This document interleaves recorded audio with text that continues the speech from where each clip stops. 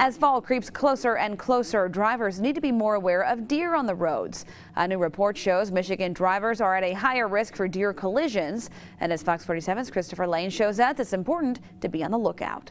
Mid Michigan is one of the most dangerous parts of the state for deer, and Ingham and Jackson counties are right near the top. I couldn't imagine being much more. But new data says this year drivers will be 14% more likely to hit a deer than in 2015 and that means a lot of business for collision centers. It's a huge part of our business now. There's probably five months out of the year that it accounts for at least 20% of all the vehicles that we repair. And as Phil Tripp tells me, he's getting ready for the busiest time of the year for deer collisions. When the weather gets cold in the fall, that's when it starts. I mean, there are times when we see 25 a week.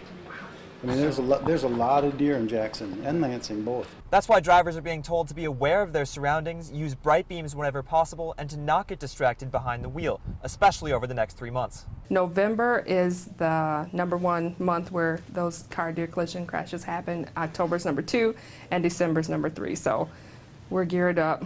We know they're coming. Which is why drivers are encouraged to stay alert while they're driving.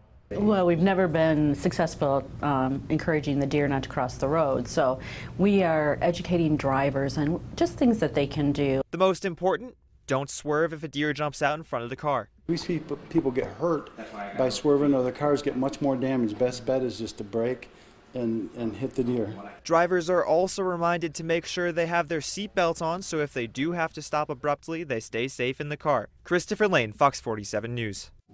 The most dangerous time for deer is dusk and dawn. If you're on the roads around those times, be particularly aware.